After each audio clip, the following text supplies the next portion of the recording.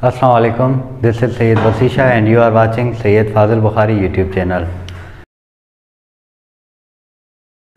आज हम करेंगे फिक्स्ड प्रीपोजिशंस सबको आपको in into over under on ये आपको सारे आते हैं, लेकिन जो एग्ज़ाम होता है, उसमें आते हैं ज़्यादातर फिक्स्ड प्रीपोजिशंस तो इनको आपने याद करना होता है रिवाइज करना होता है, ऐसे आपको एक दफ़ा पढ़ने से याद नहीं होता।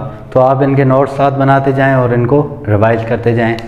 तो चलते हैं, आज हमारे पास टेन सेंटेंसेस हैं। तो टेन प्रीपोजिशंस फिक्स प्रीपोजिशन हम सीखेंगे। तो हर लेक्चर में आपको टेन फिक्स प्रीपोजिशंस सिखाई जाएँगी। तो पहला जो सेंटेंस है, Ali had great affection dash you. अब आप बताएँ, अफेक्शन कौन सा प्रीपोजिशन साथ लिखता है? अफेक्शन के साथ कौन सा प्रीपोजिशन लगता है? तो जो अफेक्शन होता है, उसके साथ हमेशा फोर लगेगा। अफेक्शन फोर जब भी आप अफेक्शन का वर्ड सुने और फिलेंदी ब्लैंक्स लिया हो तो आप बेझिझक फोर लगा दें। Ali had great affection for you affection कहते हैं किसी के साथ दिल लगाना, किसी के साथ आपका दिल लगता हो तो उसको हम अफेक्शन बोलते हैं। तो सेकेंड सेंटेंस की तरफ़ आते हैं। Ayesha is endowed dash many qualities ये जो आपका इंडोर्ड है, इसके साथ कौन सी फिक्स प्रीपोजिशन लगती है? तो इंडोर्ड कहते हैं कि नवाजी हुई हैं मतलब उसको बहुत सी क्वालिटीज़ नवाजी गई हैं अल्लाह ताला की तरफ़ से। तो इंडोर्ड जो है, उसके साथ फिक्स प्रीपोजिशन विद लगता है। जब भी आप इंडोर देखें तो उसके साथ विद लगा दीजिए। चलते हैं थर्ड प्रीपोजिशन की तरफ़।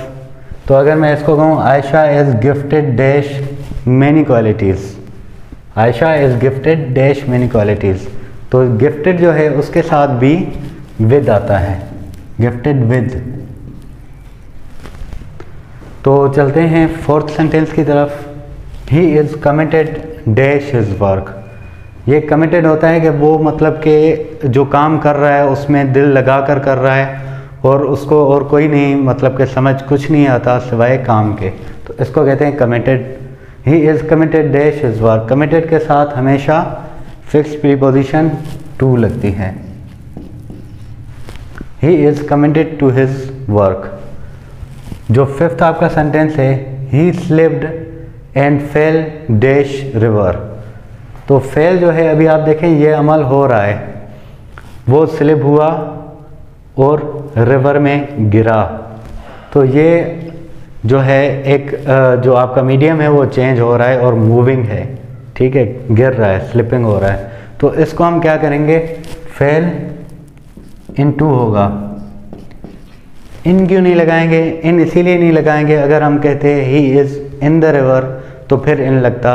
अगर वो स्लिप हुआ है और वो गिर रहा है तो उस उस जगह पे हम इन टू लगाते हैं।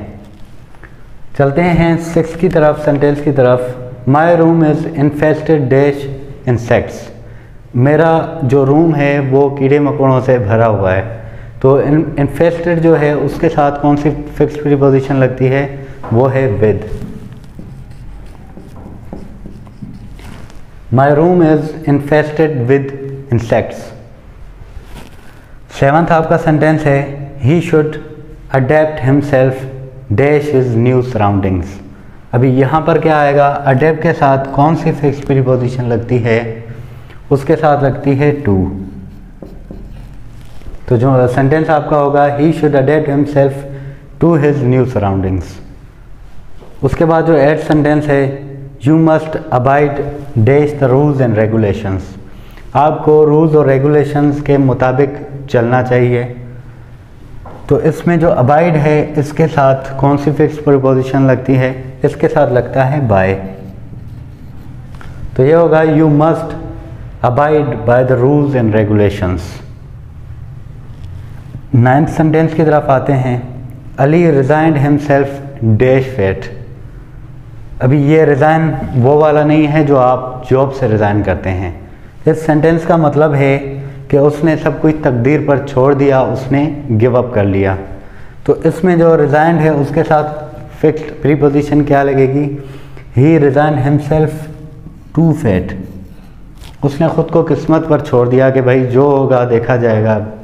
अब मैंने गिव अप कर लिया है। लास्ट सेंटेंस है people will mock dash you if you do so अभी ये मॉक है, इसका मतलब है कि आपका मज़ाक उड़ाएँगे, आप पर हंसेंगे अगर आपने ये काम किया। तो इसके साथ जो प्री पोजिशन लगती है people will mock at you इसके साथ एट आता है। People will mock at you if you do so तो ये आप अपने साथ नोट कर लें और इन ताला नेक्स्ट वीडियो में दूसरे हम टेन सेंटेंसेस करेंगे और उनका फिक्स प्रीपोजिशन देखेंगे। Thank you so much